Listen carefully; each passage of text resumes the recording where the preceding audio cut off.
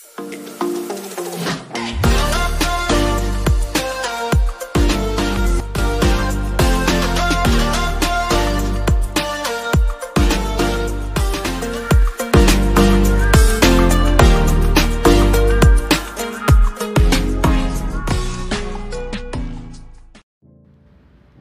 Yes, bwana mambo vipi mtazamaji na mfuatiliaji wa update za Daza Media. Always tuko hapa kwa ajili ya kukupa update na stori zote ambazo zinafanya vizuri ndani na nje ya mipaka ya Bongo. Kama ni mara yako ya kwanza e, unaungana nasi katika familia hii ya Daza Media, basi pasi na kupoteza time, pasi na kupoteza muda, tungependa kukukaribisha sana katika familia hii ya Daza Media lakini pia ningependa kuwakumbusha wale wote ambao ni kwa mara ya kwanza wanaungana na familia hii ya Daza Media, ningependa kuwakumbusha kusubscribe kwa kubonyeza red button ambayo iko chini ya video yako ili uweze kuwa wa kwanza e, kupata kila update na kila information zetu zote ambazo tunaziweka hapa ndani ya Daza Media kila siku, kila time kila muda. Wajanja wote tayari wameshafanya hivyo, na wewe shtuka kuwa miongoni mwa wajanja.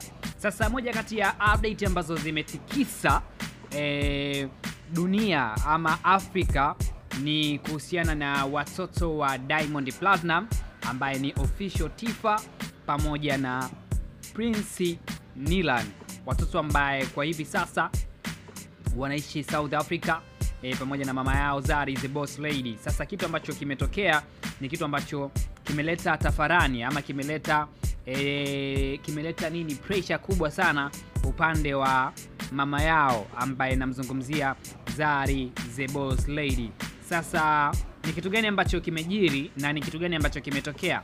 E, pasi na kupoteza time e, utakwenda kufahamu e, kupitia Daza Media kwa sababu ndo only place ambayo e, unapata hizi update na unapata hizi e, story zote e, Daza Media ndo only place. Ninaposema only place, tafadhali ieleweke kwamba ni sehemu pekee ambayo unapata hizi update na unapata e, hizi habari. Sasa basi story ambayo ipo ni kwamba e, inasemekana kwamba Diamond Platinum e, baada ya kuwa amejifungamanisha ama amejiunga na chama cha wajenzi huru ambacho kwa lugha ambayo inafahamika zaidi kinaitwa Freemasons, chama ambacho e, ukijiunga huko ni lazima utii na uheshimu masharti yote ambayo watakupatia e, na sheria zote na masharti yote huwa yanatoka kwa mtu ambaye anafahamika kama Grandmaster. E, mtu anayefahamika kama Grandmaster ndiye mtu ambaye huwa anatoa masharti yote kwa wanachama ambao wanakuwa wamejiunga na hiki chama cha wajenzi huru ambacho kinaitwa Freemason. Sasa basi ukiwa umejiunga katika hiki chama ni lazima ama ni kitu ambacho hauwezi kukipinga ama huwezi kukizuia e, kuwa unatoa kafara e, za damu. Na kwa mara ya kwanza wakati unaanza e, unabidi utoe kafara za mtu yoyote. Kwa hiyo unaweza ukasababisha ajali e, unaweza ukamsogeza rafiki yako, ndugu yako, lakini kadri ambavyo unakuwa unahitaji mafanikio inabidi e, ulipe price, na wanakwambia kwamba e, every benefit have, have the price to pay, yani kila mafanikio yana malipo ya kulipia. Kwa kadri ambavyo unazidi kukua mkubwa e, kuna price ambazo inabidi ulipe, na endapo itatokea utashindwa kulipa hizo price, basi kuna madhira makubwa ambayo yanakukuta. Aidha, unaweza ukapoteza maisha yako, lakini pia unaweza ukapoteza umaarufu wako, ukajikuta unarudi chini, unakuwa loko loko loko loko. Nataka nikupe mifano muhimu ama mifano ambayo ina uhalisia, yaani mifano ambayo ipo na iliwahi kutokea. Mfano mzuri e, kuna kipindi hata hii interview imefanyika sio muda mrefu sana ya 20%.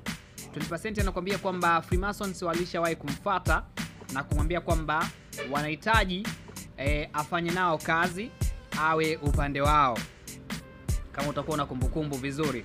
Na kwa mara ya kwanza e, aliwakataa, na baada ya kuwakataa ikaja ikafika stage Freemason wakamtumia waka, akapata tuzo nani 20%.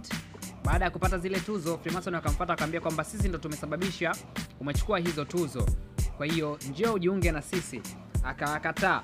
Alivyowakataa ni kutokana na proposal ambazo Freemason wako nazo. Kwa baada ya kuona kwamba huyu mtu kila tukitaka kumuingia na kila tukitaka kumtumia katika kazi zetu imekuwa ni changamoto na imekuwa ikishindikana, basi wakaamua e, kuachana naye.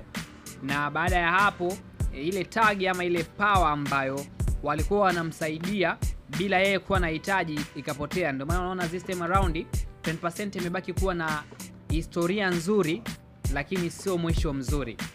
Sio, unanielewa?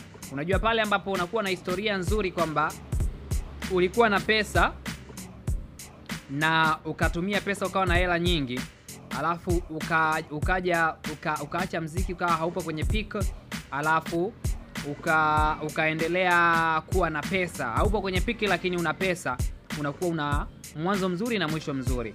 Lakini kama ulikuwa na pesa na ulikuwa kwenye peak, alafu unakuja unakuwa hauna pesa na haupo kwenye peak, basi unakuwa una mwisho mbaya.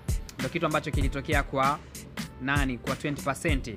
Kwa sasa hiki kitu kimekuja kutokea pia kwa Diamond Platinum e, kwamba Freemasons wanapokutumia na wakakubali kufanya vitu vyao, kuna time ambayo itafika watahitaji utoe sadaka ambayo ni sadaka itakufanya roho yako iumie.